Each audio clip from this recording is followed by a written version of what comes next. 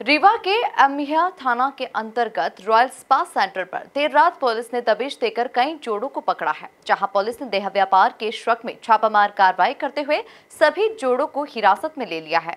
देखिए खास रिपोर्ट।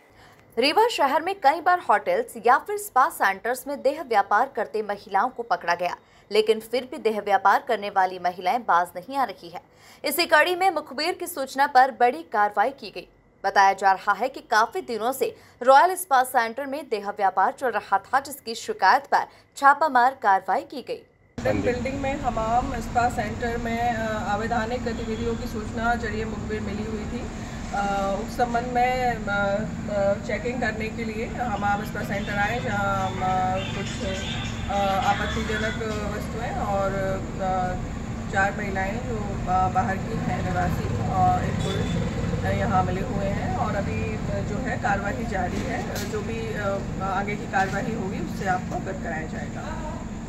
किसके नाम पे संचालित है? हम इस पर कौन संचालित है? अभी उसके जो दस्तावेज़ हैं सब उसमें अभी मांगे गए हैं कि वो किस किन दस्तावेजों पर यहाँ काम कर रहे हैं। जो सूचना थी उसकी तस्दीक की जा रही है।